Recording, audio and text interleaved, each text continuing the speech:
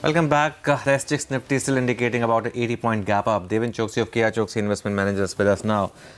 Deven, good morning. Uh, you know, ICICI was up 6% yesterday. The ADR was up 9%, of course. So uh, perhaps uh, another 3 to 4% is what the market seems to be indicating. Your thoughts on the numbers and as a stock, uh, if we open around the previous 52 week highs, uh, do you still chase it? Yes, Anuj, good morning. Yeah, good set of numbers, largely expected, uh, I think so, at the same time. And uh, if one looks at uh, the NPA provisioning, gross as well as net, I think that's where the validation on the numbers is coming from. Uh, as I see it, I think the recovery of the uh, stress assets is progressing well and is likely to see, I think, the bank receiving even further sum of money in subsequent quarters. So from that perspective, if you look at it, I think the one side they will have the liquidity into the balance sheet because of the recovery of this money that is coming in. On the other side, I think the lower provisioning of the non-performing assets definitely I think uh, means that the bottom line performance of the bank should be in a uh, improved position going forward quarter as well. The key point I think which probably I think one would like to see higher amount of validation coming up in subsequent quarter would be the growth in the credit and the net interest income. In this particular quarter, I think the net interest income uh, numbers I think have been slightly amiss. So from uh, a perspective of looking at the growth in the core business, I think one would like to see how the NII stands uh, improved. I think going forward. So that is one area which we'll keep an eye on. But I think the other areas remain I think quite positive. Given that kind of positive uh, situation in which the bank is operating, plus having a good amount of liquidity already into the books, I would think that the stock would possibly get re-rated. And you do not know I think whether gap up opening would mean sustenance. But the fact is that I think the stock probably would demand a buying interest going forward. So definitely I think uh, good days ahead for ICICI per se. Uh, Deven, hi, good morning. Good days ahead for ICICI Bank. But wanted your thoughts on Bajaj Auto. Not only were the margins under pressure, but the management indicated that things may not be so good in the quarters to come as far as demand is concerned as well. Um, you, would you be underweight here, or is this a space that you would look for opportunities in? Good morning, Sonia. Well, I carefully listened to the commentary of Bajaj Auto. I think two or three points where I feel that I think the things could be relatively better. One, I think the uh, amount of uh, the forex related gains I think which they would have in this particular quarter would be slightly higher compared to I think the last quarter. So they are expecting 50-60 bips I think improvement on that side. So that would be the one possibility. Second, uh, the discount on the uh, motorcycles, I think that factor will continue at least for the entry level strategy that they have created in this quarter as well. So over there, I think we don't see major change. However, I think what we are basically banking upon is uh, the contribution coming in from the value-added product segments. I think the Pulsar segment in particular, where the demand growth has been on higher side at the same time, I think the new discovery is uh, likely to come up for the launch. So that could possibly mean that initial volumes in the initial months could possibly be on the improvement side. However, the cautious commentary of the management says that I think in this particular quarter one should not be expecting too much because they would have the kind of cost also to incur for the rebranding exercise that they are carrying out. But uh, April to June quarter is the one I think where I think one would keep an eye on where I think the rural demand also would start picking up because of the typical festive season or the marriage season coming up in the western India. So from that perspective, June to uh, April to June quarter would be I think a quarter to watch, but I think this particular quarter might remain subdued. So given that kind of a situation, if one is basically wanting to buy the stock, if, if one would get an opportunity at a lower levels in this particular quarter if the market gives one because of I think sideways uh, moment continuing for this particular stock. So yes, I think clearly a buy opportunity when market gives one in this quarter at lower levels. Okay, uh, just hold on, uh, uh, Deven. The markets have just opened, and it's all over the place. It's not making any sense. The Nifty can't be two percent lower. There's something wrong here. That's because I, I say, you know, I saw even Reliance down ten percent. There's something wrong. Let's pull up ICICI. It started five percent higher. Uh, and then I don't know, and then it went to 3% higher. Now it is 1% higher. Uh, but we will really have to see. Rupees opened strong, and that is on expected lines because we did discuss the dollar fall mm. on dovish uh, Fed commentary. So the rupee, the dollar now costs less than uh, 71 rupees, 70 and change.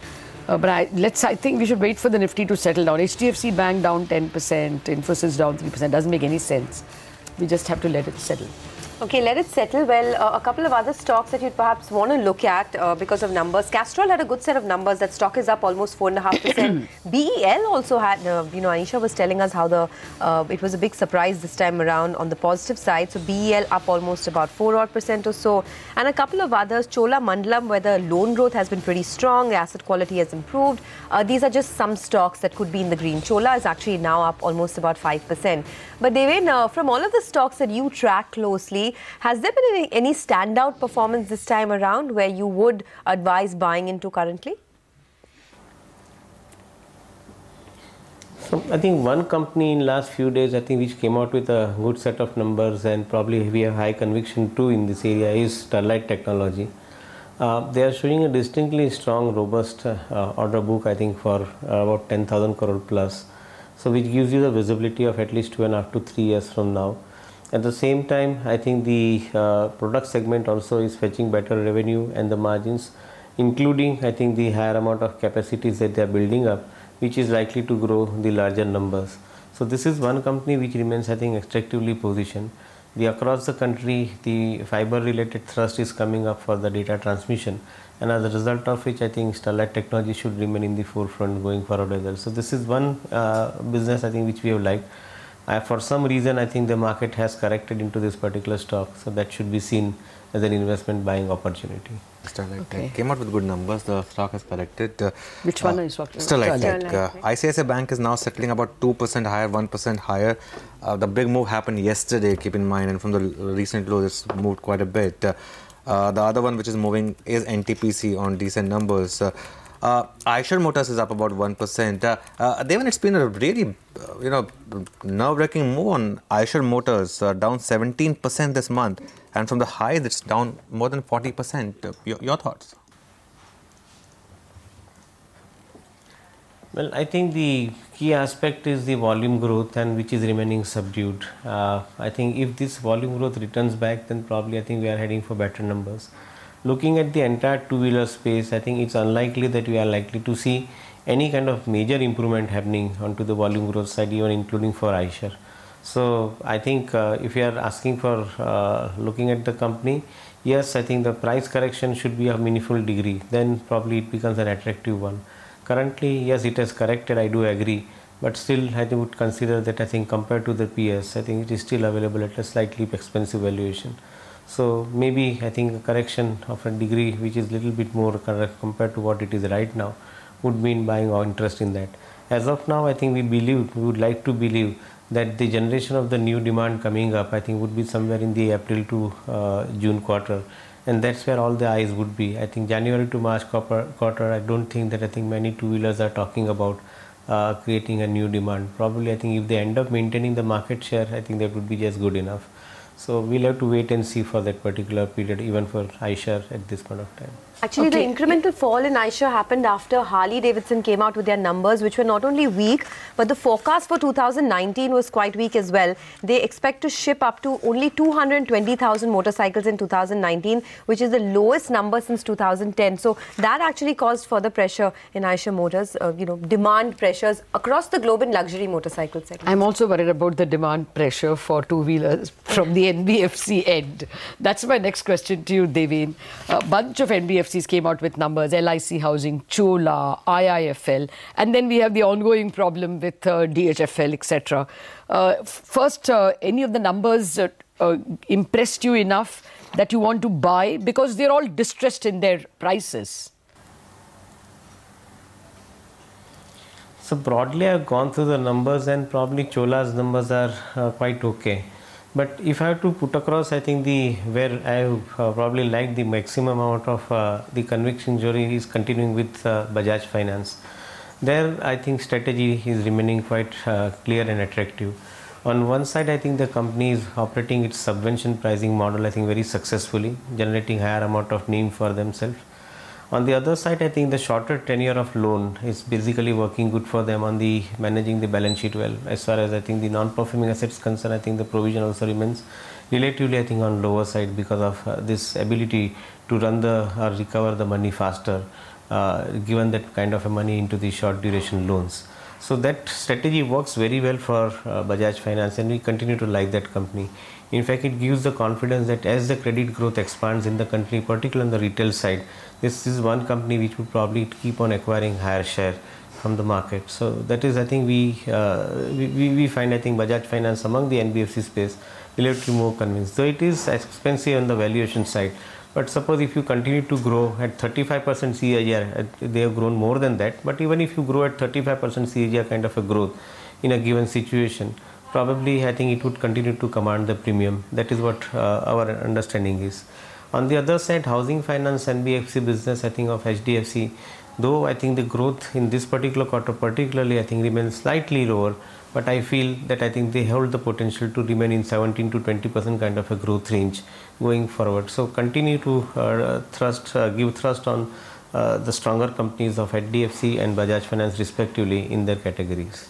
Okay, well, just, just, a couple. yeah, yeah, I wanted to point out Jubilant. Uh, yesterday, after the good numbers, it didn't do much. Uh, the stock uh, ended barely in the green, gave up most of its gains. Today, it shows uh, 2% higher, okay, two and a half higher. That's early morning trade. Maybe we want to listen to what the management said. They have reported a very strong uh, set of numbers. And uh, more importantly, what they said about uh, uh, Dunkin' Donuts. Let's hear out what the management had to say. I'm happy to state that we have opened 35 stores in quarter three. More than 50% of our new stores have been opened in the existing areas where we have split the existing stores. We believe uh, this will improve customer service uh, to our to our customers in the existing markets, improve efficiency uh, in the in the long run, but also we believe in the short run, this will put pressure on the same store sales growth. We had a strong uh, uh, same store growth in Dunkin', strong top line growth, driven by the core portfolio of donuts uh, and of beverages. Premiumization is something we drove both in the donuts portfolio as also on the food side. That has helped us drive realization.